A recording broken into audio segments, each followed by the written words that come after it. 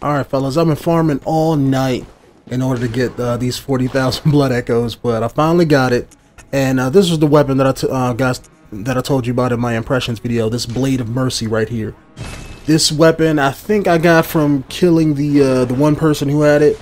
And it seems to be, um, you guys are going to see me test out uh, some of the attacks here. Um, and even after this, I'm going to cut the video and um, show me running around using it. But it seems to be like a... Um, a two-handed or seems to be like a short sword at first as you guys can see me here when I'm slashing but but when you hit the uh you know the trick button it'll be like you know you can make it so it's like two daggers. And I love the hell out of the weapon so far.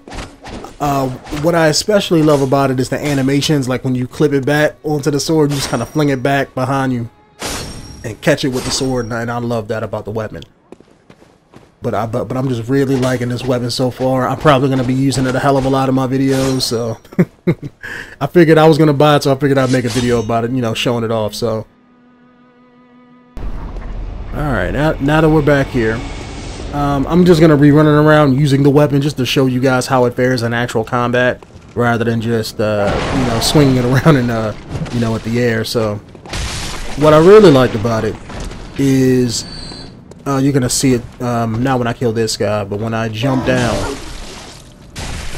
I'm just waiting for the video to catch up here. I'm, I'm recording this after the fact, if you guys can tell. Um, it, it, has a lot of hits to it, and I mean a lot. Like you can spam that button, and get a lot of quick hits in. It, it reminds me of like um, a couple weapons in Dark Souls. You had a lot of those gimmicky weapons, but this, when you really put it so you have it in two hands, you get like twice the attack speed out of it.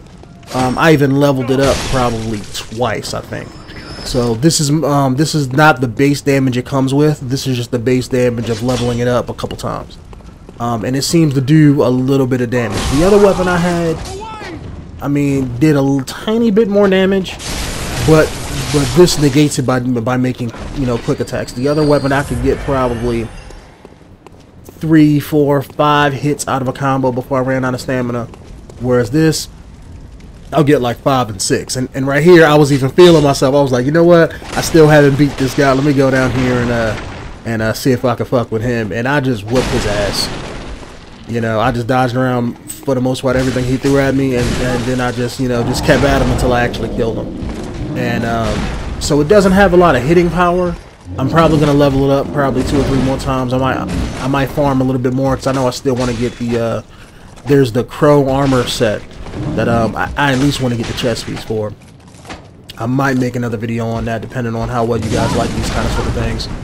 But I'm really liking this weapon so far. The main reason I got it was because it was a it was kind of not not not really a boss weapon per se, but um, something unique and damaging most of the time when you kill people you, uh, you aren't supposed to kill, you get really cool stuff from it. So that's why I killed the crow guy in the first place. But I'm really anxious because this, I like infighting in games like this, and this is like an infighting weapon, just to be able to dodge and do tons of damage and tons of hits on somebody. So I'm loving the hell out of this weapon. I'm going to be using it for a long time, probably in the foreseeable future until I find something better. So if you guys like, you know, like the video, let me know. Let me know if you want me to do more videos like this, because I don't mind doing them.